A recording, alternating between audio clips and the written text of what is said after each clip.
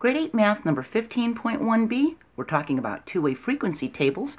Now we're going to talk about deciding whether there's an association.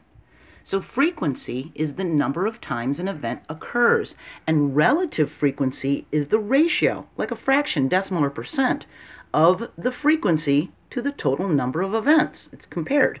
And we can use relative frequencies to see if there's an association, a connection between two variables or events. So just remember, relative frequency can be written as a fraction, a decimal, or a percent, okay? So let me back up a little bit. We've got our data in this little graph right here, this little chart, and 300 students were polled to see if there's an association between a student not owning a cell phone and being late for school, all right? So here's the columns coming up and down. Remember, columns go up and down like the columns of a building, and rows go across, okay, like the rows in a theater, like the front row, the back row, okay, they go across horizontally, all right? So the first thing we're going to do is find the relative frequency of not owning a cell phone and being late, okay? So here's late, and here's no phone. That's 8. So the total of no phone and late is 8, and the total number of students polled with no phone was 80. See? So we have 8 out of 80. And if you remember from the last video, what we do is 8 divided by 80. That gives us 0.10 or 10%. So 10% of the students without a cell phone were late. Okay? Now we find the relative frequency of the total late to total polled. So the total that were late, looking down this column, we can see is 30, and the total polled was 300. Well, 30 out of 300 is 30 divided by 300. That's 0.10. That equals 10%. Look, both of the relative frequencies were 10%.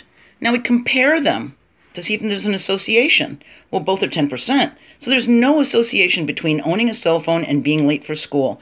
Whether you own one or not, 10% of the students were late.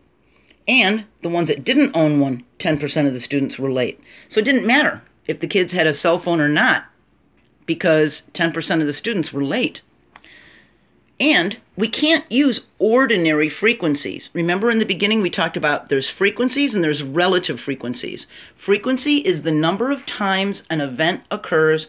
Relative frequency is the ratio of the frequency to the total of events, okay? So relative frequency compares how often it happened to how many total happened, okay?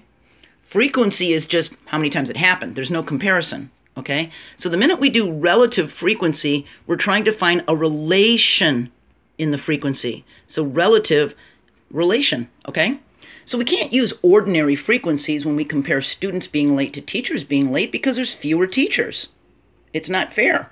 And the populations aren't evenly split but we can compare them if we use relative frequencies because we'll take into account that there's less teachers and we'll find a ratio. See? So that is deciding whether there's an association with relative frequencies on a two-way frequency table.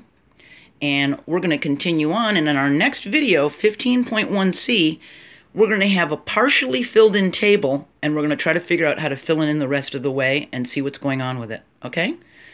All right. I'll see you there. Bye.